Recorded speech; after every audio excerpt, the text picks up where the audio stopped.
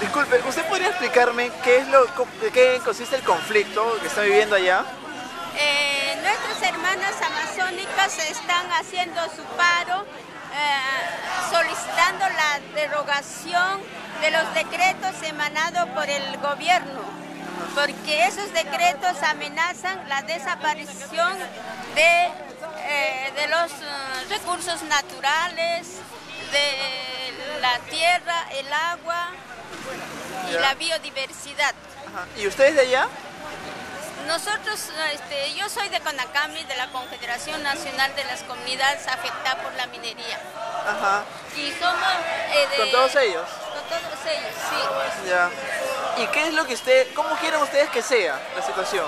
Nosotros queremos que se derogue, luego que participemos para hacer otros decretos legislativos en su elaboración.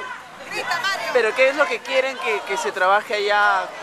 ¿Quieren que haya empresas que trabajen allá o no quieren que haya empresas? Sí deseamos que trabajen las empresas, pero tiene que haber una consulta previa, libre e informada.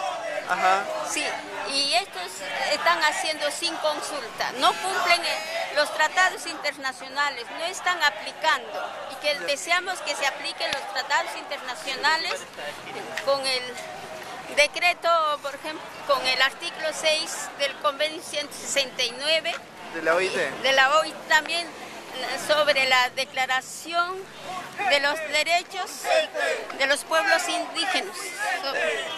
Eh, y deseamos también que respeten nuestras costumbres ancestrales, nuestra cultura, nuestra identidad, tanto en educación como en...